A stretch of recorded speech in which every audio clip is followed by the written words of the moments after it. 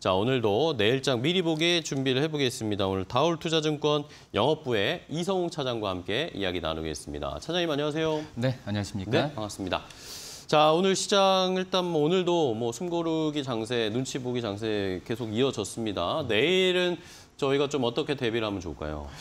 어, 우선은 그 우리나라 내적으로 이제 삼성전자 어떤 실적 발표, 네. 뭐 이 부분 이제 금요일 날 어, 잠정 실적 발표가 있는데 물론 이제 미국의 뭐 고용 보고서나 또 이제 여러 가지 이벤트, 뭐 오늘 같은 경우에는 또 이제 중국 쪽에서의 이 서비스업 지수가 좀 발표됐는데 어, 지금 추세가 약간 종목별 장세로 좀 가는 경향이 좀 많이 있거든요. 그렇죠. 예, 지금 테슬라에 의한 어, 어떤 그 2차 전지 뭐 관련 주들도 지금 변동성이 나와주는 상태이기 때문에 지금 삼성전자의 실적이 뭐 좋게 나왔을 때는 다시 한번 이제 반도체주가 주도주로 부상할 확률이 있긴 하지만 음.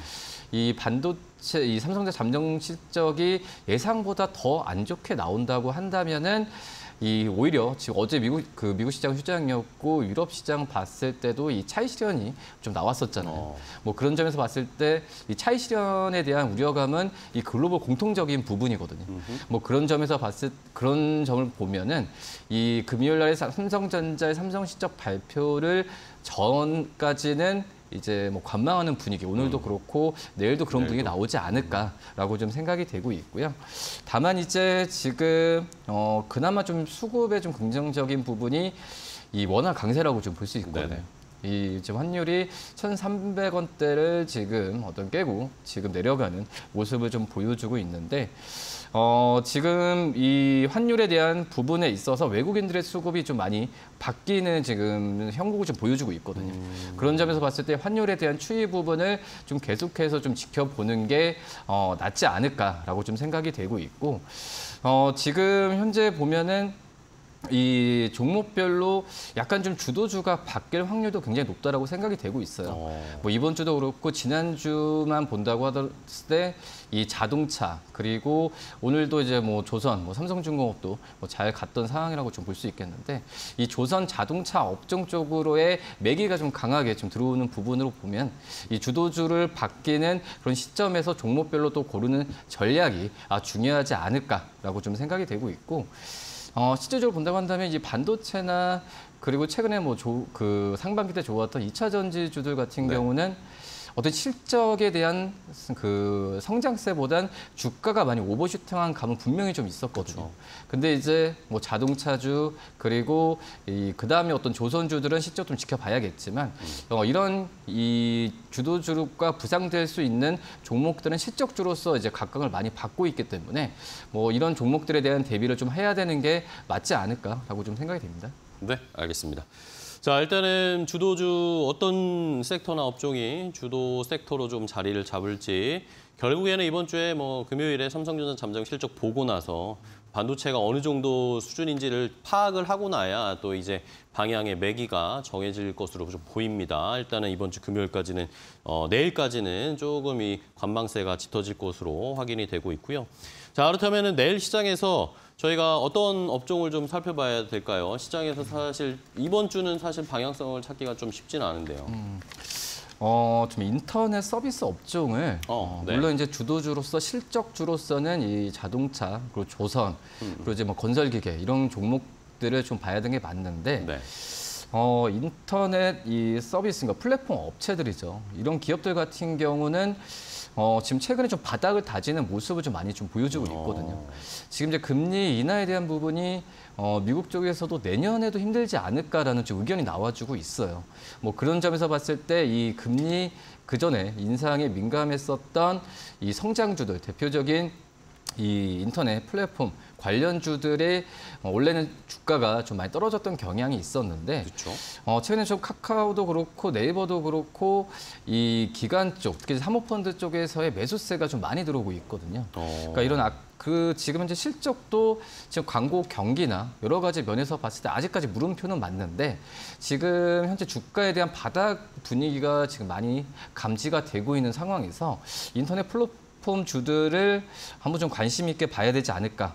물론 이제 2분기 때도 인터넷 광고도 좀 부진했던 상황이고 그리고 이제 어떤 투자에 대한 비용이나 이런 부분도 좀 많이 들어가 있는 상황이라서 이 인터넷 플랫폼 기업들의 2분기 실적도 지금 그 아직까지 좀 기다려 봐야겠지만 지금 이거에 대한 어, 우려감도 주가에 저는 충분히 다 반영이 되지 않았나라고 좀 생각이 되고 있어서 지금 이제 인터넷 플랫폼 관련주들 특히 뿐만 아니라 이 성장주들에 대한 관심을 가져야 되는 게 맞지 않을까라고 좀 생각이 좀 되고 있고요.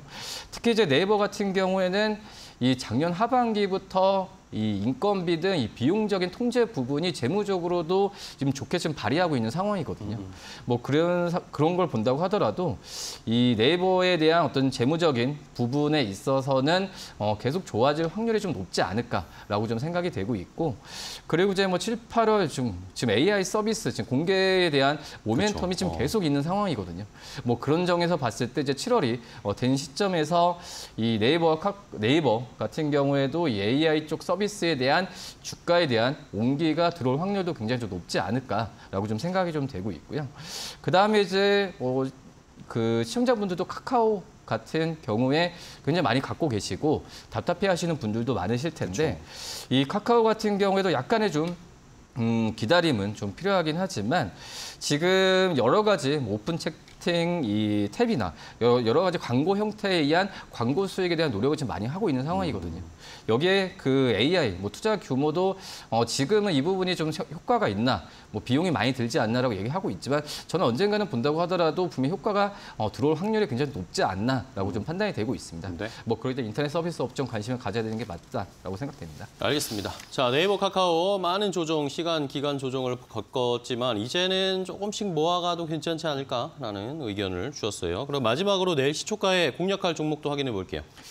어, 우선 인터넷 플랫폼 중에서는 역시 뭐 네이버 카카오를 좀 분할 매수 네네. 관점으로 접근하면 괜찮지 않을까 판단되고 이 종목은 이제 그 전기차 업종에서 이제 이차- 그 명신 산업을 좀 명신산업. 말씀드리도록 네. 할 텐데 이 명신 산업 같은 경우에는 이차 전지, 뭐 소재, 뭐 부품 주가 아니죠. 어떻게 보면 자동차 이 차체를 만드는 기업이라고 좀 볼 수 있겠는데 뭐 그만큼 음, 뭐 테슬라나 여러 가지 영향 때문에 이차 전지 소재 업체들의 변동성이 나오는 부분이 물론 이제 주가가 잘 가면 좋지만 변동성에 의한 trading이 좀 힘들었을 때는 네. 오히려 그 내연기관 쪽에서의 부품주들이 이제 전기차로 갔을 때 어, 수혜를 받을 수 있는 그런 자동차 부품주들 살펴볼 필요가 있지 않을까 뭐 판단되고 있어서 네.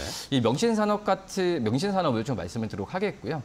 대표적으로 이제 명신산업 처- 명신산업과 마찬가지로 이 자동차 차체나 프레임을 만든 게 바로 이제 화신이라는 기업인데 그렇죠. 화신은 어떻게 보면 현대차나 이 기아 현대차 그룹 쪽으로의 매출 비중 90% 이상 어, 가까이 되지만 이 명신산업 같은 경우에는 현대차 그룹 쪽에서의 매출 비중은 이 30%밖에 안 되고 오히려 나머지 70% 같은 경우가 이 글로벌 자동차 완성차 업체 쪽으로 매출이 나와주고 있거든요.